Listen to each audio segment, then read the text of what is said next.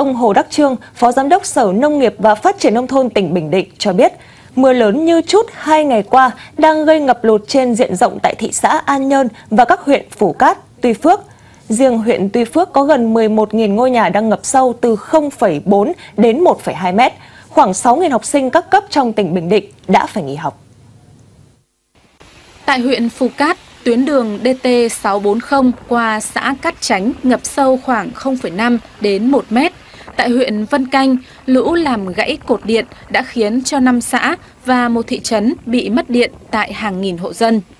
Tại huyện An Lão, tuyến đường DT629 nối huyện An Lão với thị xã Hoài Nhơn đã bị ngập sâu, các phương tiện không thể qua lại.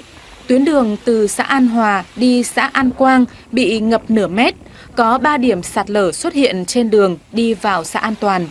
Tại huyện Hoài Ân, mưa lớn đã gây ngập trên diện rộng, chia cắt gần 1.000 nhà dân ở xã Ân Hảo Tây, Ân Hảo Đông, Ân Tín, Ân Mỹ bị ngập lụt nặng. Đặc biệt tại huyện Tuy Phước, nước lũ từ thượng nguồn đổ về làm ngập sâu, các tuyến đường đều bị chia cắt. Huyện có 10.800 nhà bị ngập từ 0,4 đến 1,2 mét.